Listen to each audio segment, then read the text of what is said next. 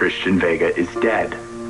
I don't see how he could possibly come between you and Natalie. You think she's still in love with him? I know she is. Always will be.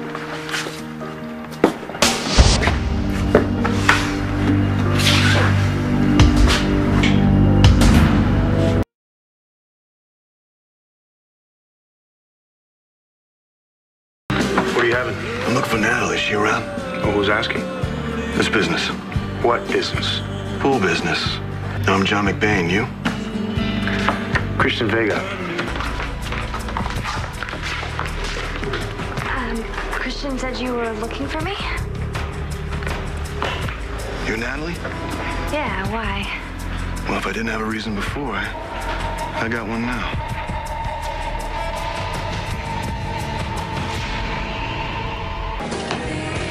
Hey, look, can I talk to you for a minute in private? No. I'll make it quick. Whatever you got to say, you can say in front of my brother. Okay. Take this in the spirit that it's that it's meant, Chris. You have an idea what's going on with your wife right now? John. What the hell do you think you are? Hear me out. Hear me out. Look, Natalie came by the station. She was pretty close to losing it. You know, she always acts tough. She's scared, man, and she's worried about you. I just thought you might want to know that. Stay the hell away from my wife. Natalie, your neck. Are you hurt? We should get that checked Uh, out. I'm fine. What are you doing here? I called the police. I thought you were gonna kill that guy.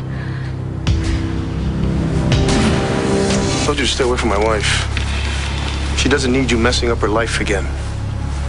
Getting old, Chris. Do not throw Vegas in my face every time I run into you. Oh, yeah? What are you gonna do about it? Chris.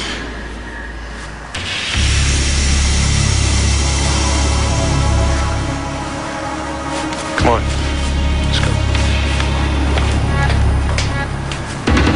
Well, she and Natalie are concerned that you're not following up on your therapy. I can take care of my wife. Or she can take care of you. I mean, you like that. You are living with her mom, right? What the hell's that supposed to mean? What's it supposed to mean? It's- That's the way it is, isn't it, Chris? Don't push The way I see it, Chris, you're not taking care of anything. You can't take care of yourself. I You can't said, your wife. don't you can't take care of push me. Why, Chris? What are you gonna do? Chris, show me what you. I warned you. Yeah, you warned me. Now let me go. Hey! Are you. Are you telling me I need to kick my husband out of my bed? I'm not telling you. I'm asking you to hear me out. Listen to me. I know you. You are just really, really messed up right now from what those people did to you on the ship. But you know what? We're gonna get you help. We're gonna get you really, really good help. Okay, you're just confused, Cristian. You're just stop it. So you better just lock me up before I hurt someone else. Like Natalie? I know you care about her. I've got a pretty good idea just how much. What you think and what you know are two very different things. Come on, man. I'm not blind. I saw how you were always trying to play the big hero, trying to make her doubt me. Unfortunately, I was kind of right about that, wasn't I? Yeah, but that's not why you did it. You did it because you wanted her. Wrong. Again. If I was really Cristian Vega, you'd still be working it. Get the hell out. She deserves to know, Chris. First, you almost get her killed. And now you want me to destroy the rest of her life? How could you let that cycle get to her, huh? Hey, where the hell were you? I'm out there doing the very best I can, all right? You're sitting in a 6 by 9 drawing little pictures of a woman you may never lay eyes on again.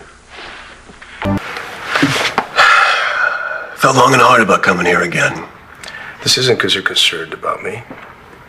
It's about covering your own ass when I end up dead. And everybody finds out that I'm Cristian and that you knew. How much is Natalie going to be into you then? Who knows? But keeping it from her was your idea. And you want to make sure you still look good. That you tried to help and hit on me. So you can have my wife conscious, free, and clear. Is that what you really think? That's just a little bit. But this is your setup, not mine. I asked you to keep my secret, not sleep with my wife. I didn't plan on that. Truth be told, I didn't want it. I fought it the whole time you were away. Two years. I never acted on that. You know, Evangeline's a hell of a lawyer.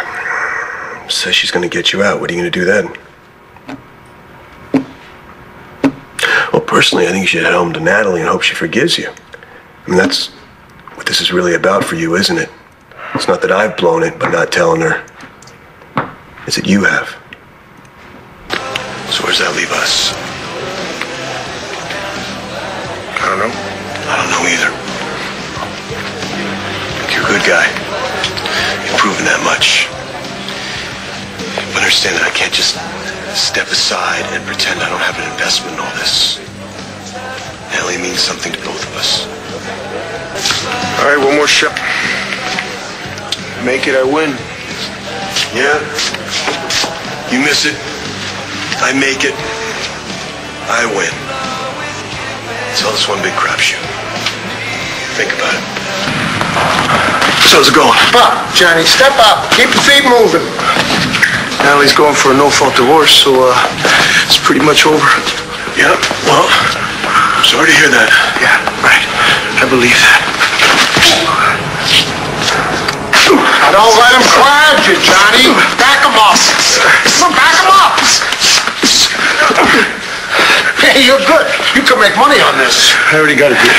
Don't tell him. I'm not a cop. No, I'm an artist. Honest. Come on, Johnny. It's an art. Enough.